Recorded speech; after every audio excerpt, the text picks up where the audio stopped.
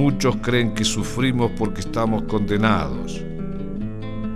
Por eso estamos obligados a grandes sacrificios para sobrevivir, para borrar los pecados de las vidas pasadas, como si Dios fuera un juez, no un padre como si el pasado y el más remoto fuera posible en el presente. Lo malo se paga enseguida y esa deuda es invento de nuestra conciencia, no de Dios. Como la mano que meto en el fuego se quema ahora, no mañana. En el mismísimo acto está la recompensa o el castigo. No se puede seguir cargando una cruz dos mil años después.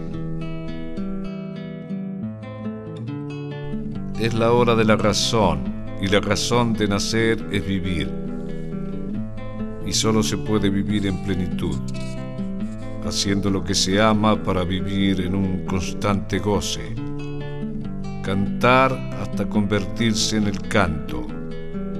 Bailar hasta desaparecer en la danza, hasta convertirse en la danza. Encender la hoguera del amor hasta convertirnos en el mismísimo fuego tesoro más grande que llevas dentro es el amor, que te lleva graciosamente de lo humano a lo divino. Pero para encontrarlo debes conocerte y para eso debes ser honesto contigo mismo.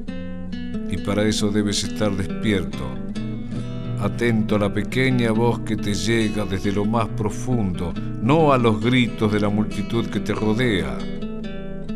Libre de los que, en nombre del amor, quieren encadenarte a su hastío, a sus tediosas reiteraciones.